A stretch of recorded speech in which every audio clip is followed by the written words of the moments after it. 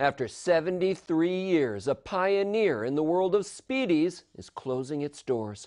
Sharkey's on Glenwood Avenue in Binghamton's First Ward is going out of business at the end of the month. The iconic eatery claims to have introduced the Spiedie sandwich to the world and still serves them in the traditional way five chunks of meat, pork or chicken, on a single slice of Italian bread. Started in 1947 by Peter and Victoria Sharak, their sons Robert and Larry took over the business in 1979. Since their deaths, Robert in 1996 and Larry in 2017, their widows, Marie and Joanne Sharak, have been operating the restaurant. But now they say it's time to retire. We're looking forward to the freedom, but we truly will miss the the people and the the day to day. We will miss it. I know. You know, we think it's going to be great, but it, you know, it's it's going to be a double-edged sword.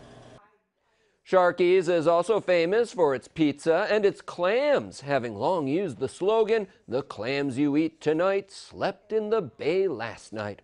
Marie and Joanne say fresh ingredients, a family friendly atmosphere, and consistent taste is what has been bringing back customers for years.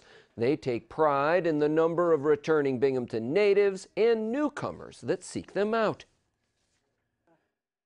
I have people tell me they got engaged in here. They met they met their husbands. Uh,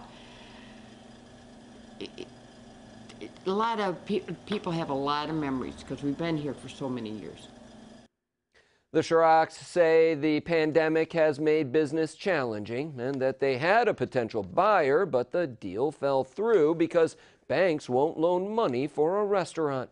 Still, the building, business, and secret family recipes remain for sale as a package deal, and the sisters in law believe that Sharkey's will live on. Meanwhile, their final days are this weekend and next. They're open 11:30 to 10 tonight, tomorrow, Saturday, and Sunday, and then next Wednesday, Friday, and Saturday, with Sunday the 29th being their final day.